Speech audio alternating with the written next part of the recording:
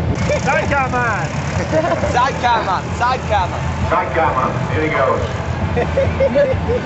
Wallace and Gromit. We're not sure which is Wallace and which is Gromit. They're all there.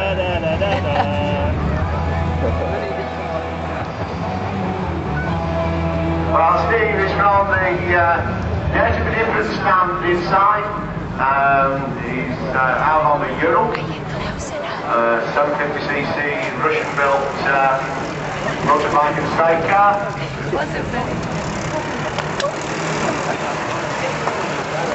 This bike uh, has all sorts of wonderful things on it. As demonstrated, it even goes backwards. See.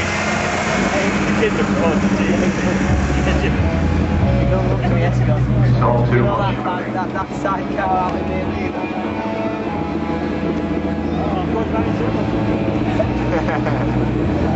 And it goes around corners going backwards.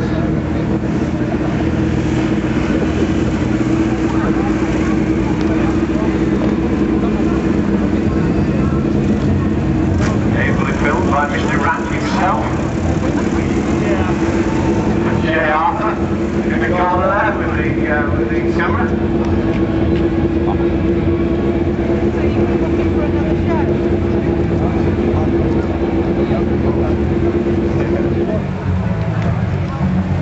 drink? Well, here we go. Chris helping outside of the sidecar.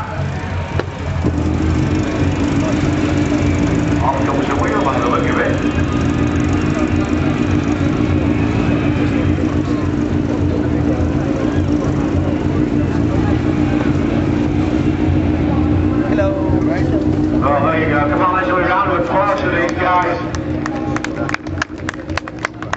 Just off the standing side, reckon we could do a little bit out in the. And uh, here they are uh, actually performing. Turn it on yet, Sean. Well,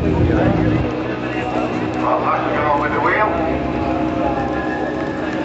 So you can go into the uh, into the hall. You can actually buy one of these things. They, it is actually the only stunt machine that you can buy here today. You buy my Evo. Oh, you can buy a Rough Swift Evo, he says. He's got an Evo 9, and never raced or rallied, as you'll see later. And uh, he wants to buy an Evo 9 and a half. On it. Yes, I can imagine it is.